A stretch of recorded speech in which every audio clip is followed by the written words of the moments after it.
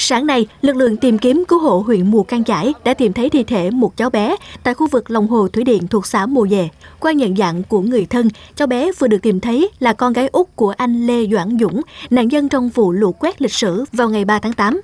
Hiện hơn 40 người gồm lực lượng quân đội, dân quân và thân nhân của các gia đình có nạn nhân bị mất tích vẫn đang tích cực tìm kiếm hồ tích nước đập thủy điện ở xã Mù Dề với hy vọng tìm được những người còn lại. Tính đến thời điểm hiện tại sau 4 ngày tìm kiếm, đã tìm thấy thi thể của 5 nạn nhân, hiện còn 9 người vẫn đang trong quá trình tìm kiếm. Theo ông Vừa A Câu, chỉ huy trưởng ban chỉ huy quân sự mùa can chải cho biết, do thời tiết mưa nắng thất thường và lượng rác trên mặt hồ dày đặc nên công tác tìm kiếm gặp nhiều khó khăn.